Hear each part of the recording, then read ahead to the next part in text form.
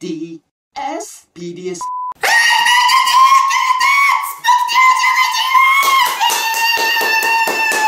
はい、こちら。もうね、120個ありますね。えーバンダイさんからいただきました。で今日はね、これを紹介していきたいと思います。あれ？つくもきたんって何だったっけ？お主忘れたのか。お父さんどうしたんですか？アホなダンテに説明してあげようある日モンタロッサが鬼ヶ島に眠る宝を奪いに来るのをひらめきたちが阻止をする詳しいストーリーはホームページにあるからそっから見ろストーリー全部言ってくださいよ、お父さん。今ホームページの時代だあ、そうですよね。ホームページ見てみます。オリジナルのイラストやストーリーが書いてあるシールが入っているシールを太陽の光に当てると絵柄が出てくるんじゃよすごくないか？いや、太陽ね、最近浴びてないんで、ちょうどいいですよね。出てきた絵柄の角メーターで友達と対戦ができることができるんじゃ。シールで対戦ができるってわちょー!バカ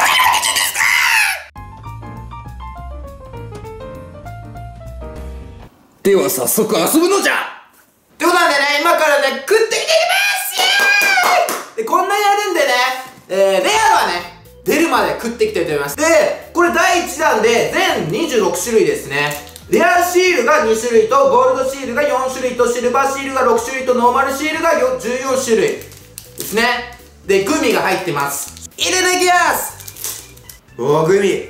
さあ、最初の1枚何が出るか来いもうこれ一発目でレア出たらやばっちょうよね。いくぜ打楽器が出ました角組を与えられて鬼になった音楽室の大太鼓昔から応援合戦では負けたことはないらしいがえー、打楽器です。ドドドドン。グミ食べてみましょう。全国のねお菓子売り場に売ってるんでね。いただきます。うん。うん。うまか。うま。いこれねグミをね食い終えないとあの開けれません。つえーあえこれ若干キラキラしてる。お地下遺跡の番人で伝説の三人機のことをよく知っているかららしいが涙もろくて水分補給の水筒が手放せない。うん。うまか。3袋目いきます。ほ分度器。おこれもキラキラしてていいですね。これ鬼が入ってますね漢字が絶対。おお来た！これ主役じゃないですかこの方。ひらめき。1番目ですよ。もう主役中の主役ですよ。やった当たった。では 5, 5袋目いきます。うん。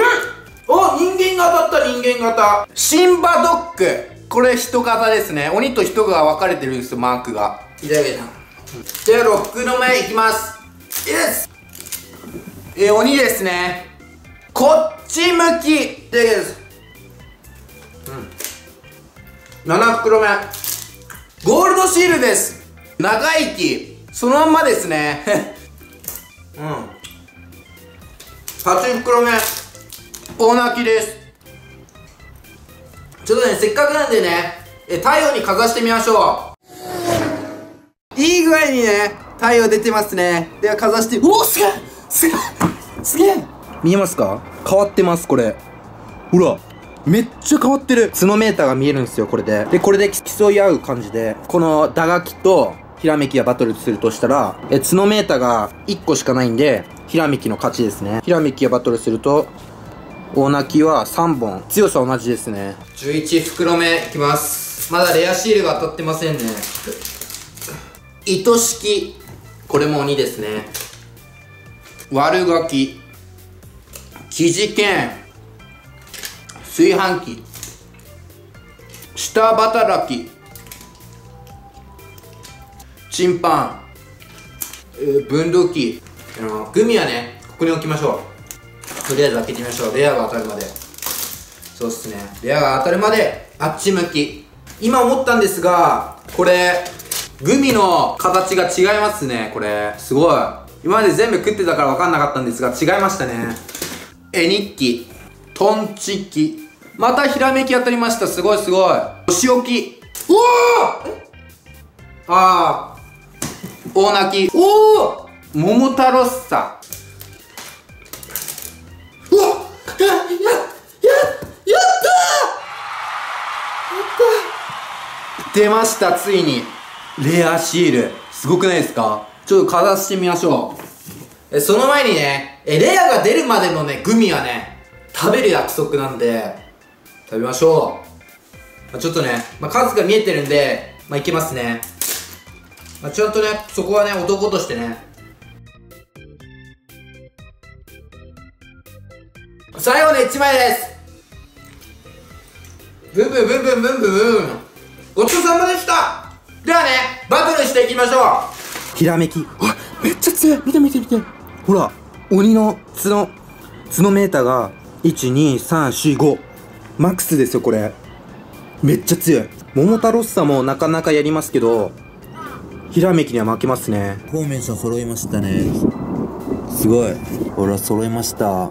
桃太郎さ芝ドッグと審判と生地剣ですね。あ桃の宝の秘密が見つかりました。でなんとねこのつくも来たんでこれシール例えばねかぶったやつあるんでかぶったやつでやってみますか。こちら生地剣ありますよね。じゃあねお父さんの頭に貼りましょう。このように貼って遊ぶことができます。でなんかシールでないこの貼って残るねこのなんだろう捨てるところあるじゃないですか。これをね4枚ね揃えて送ると鬼レアシールがね、もらえます。すごいですよね、これ。本当だったら捨てるところですね、ピュッて。で、6月20日に第2弾も出るんでね、今のうちに揃えてね、遊んでみましょう。ってことなんでね、ぜひみんなもやってみましょう。